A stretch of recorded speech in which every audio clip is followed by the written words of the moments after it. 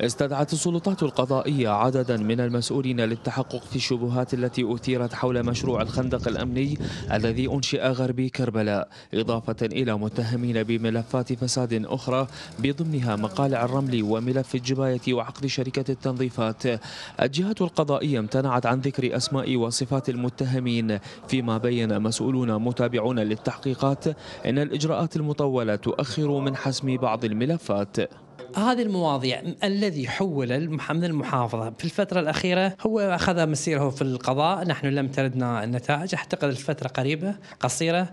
القضاء يأخذ وقت كثير. ملف الخندق. نحن قمنا بتشكيل لجنة تقصي في مجلس محافظة وخرجنا بنتائج وكان أيضا هناك تحقيق إداري في المحافظة. بعض المسؤولين خرجوا بكفالة مالية وصلت إلى 500 مليون دينار. في وقت يشدد فيه معنيون على ضرورة اتخاذ قرارات رادعة بحق ممن من تورطوا بملفات الفساد خاصة وأن التصدي لمن يوصفون بحيتان الفساد بات صعبا في ظل التأثيرات على الجهات القضائية. إذا استمر الأمر هكذا وعدم العمل بشفافية ومهنة عالية سوف تبقى الضغوط السياسية ولن ننجز أي مشروع لمحافظة كربلاء. على سبيل المثال المقالع. المقالع هناك 100 مقلع متجاوز تم حسم 30 دعوة ولكن عندما يغرم صاحب المقلع 500 إلى مليون ويطلع بكفالة. ثاني يوم هم يرجع إلى المقلع ولا يوجد قانون رادع.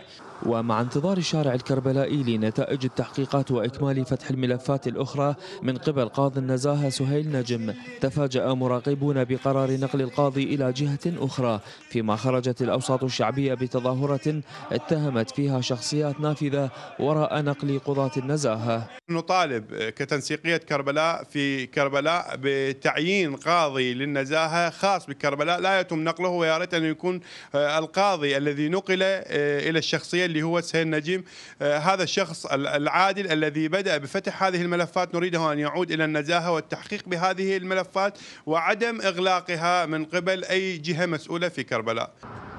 أربعة قضاة تحقيق تم تغييرهم خلال عام واحد. الأمر الذي يجعل من متابعة وحسم ملفات الفساد صعبا مع وجود ضغوطات سياسية. عقب كل مرة يتم فيها استدعاء شخصيات متنفذة أو مسؤولين للتحقيق بحسب مراقبين. من كربلاء ميثم الجناحي الحرة.